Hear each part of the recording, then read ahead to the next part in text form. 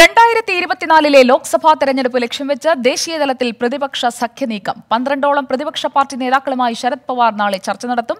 T M C നേതാവ് യശ്വന്ത് സിൻഹയുടെ നേതൃത്വത്തിൽ ആരംഭിച്ച രാഷ്ട്രമഞ്ചാണ് പ്രതിപക്ഷ പാർട്ടികളുടെ യോഗം വിളിച്ചത്. രാഷ്ട്രമഞ്ചിൽ നിന്നും ക്ഷണം ലഭിച്ചതായി C P I general secretary D Raja സ്ഥിരീകരിച്ചു. എന്നാൽ യോഗം സംബന്ധിച്ച അറിയിപ്പ് ലഭിച്ചിട്ടില്ലെന്നാണ് C P I M general secretary Sitaram Yechury വ്യക്തമാക്കിയത്. കൂടുതൽ വിവരങ്ങൾ ഡൽഹിയിൽ നിന്ന് ബൽറാം നെടുങ്ങാടി നൽകും. ബൽറാം നെടുങ്ങാടി രണ്ടായിരത്തി ഇരുപത്തിനാലിൽ ശക്തമായ ഒരു പ്രതിപക്ഷ നിര അതിന്റെ നേതൃസ്ഥാനത്തേക്ക് ആര് വരുമെന്നുള്ള ആലോചനകൾ ഇതിനകം തന്നെ ഉയർന്നു കേട്ടിരുന്നു. മമതാ ബാനർജി അതിന് തുടക്കമിടുമെന്നും ഒക്കെയുള്ള രീതിയിലുള്ള സൂചനകൾ ഉണ്ടായിരുന്നു. ഇപ്പോൾ രാഷ്ട്രമഞ്ചിന്റെ നീക്കം എങ്ങനെയാണ്? ഇപ്പോൾ നടക്കുന്ന ആലോചനകൾ സംബന്ധിച്ച് പുറത്തുവരുന്ന വിവരങ്ങൾ എന്താണ്?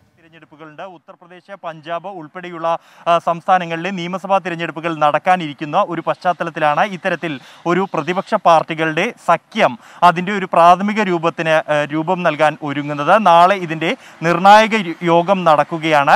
ഡൽഹിയിൽ ശരത് പവാറിന്റെ വസതിയിൽ വെച്ചാണ് ആ യോഗം നാളെ വൈകിട്ട് നാല് മണിക്ക് ചേരുന്നത്. അല്പസമയം മുമ്പാണ് പ്രശാന്ത് കിഷോർ ശരത് പവാറുമായി ഈ വസതിയിൽ വെച്ച് കൂടിക്കാഴ്ച നടത്തിയത്. അതിനുശേഷമാണ് ഇത്തരത്തിൽ ഈ യോഗത്തിലേക്കുള്ള ക്ഷണം വിവിധ രാഷ്ട്രീയ പാർട്ടികൾക്കും പോയിരിക്കുന്നത്.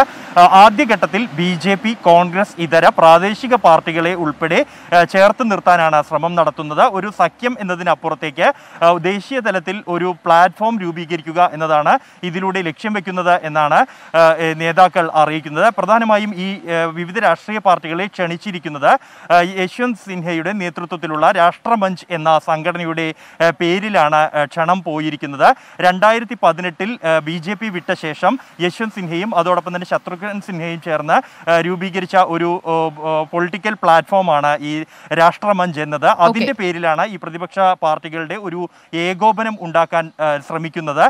എന്തായാലും ഇത് സംബന്ധിച്ച ഈ യോഗം സംബന്ധിച്ചുള്ള ക്ഷണം ലഭിച്ചു കഴിഞ്ഞതായി C P I general secretary D Raja സ്ഥിരീകരിച്ചിരിക്കുന്നു. എന്നാൽ ശരി ബൽറാം നെടുങ്ങാടിയാണ് വിവരങ്ങൾ നൽകിയത്. അതേസമയം അറിയിപ്പൊന്നും കിട്ടിയിട്ടില്ല എന്നാണ് സി പി ഐ എമ്മിന്റെ പ്രതികരണം. രാഷ്ട്രമഞ്ചിലേക്ക് ആരൊക്കെ എത്തും അതൊരു ബദൽ സാധ്യതയായി മുന്നോട്ട് വരുമോ ദേശീയ രാഷ്ട്രീയത്തിൽ? നമുക്ക് കാത്തിരിക്കാം.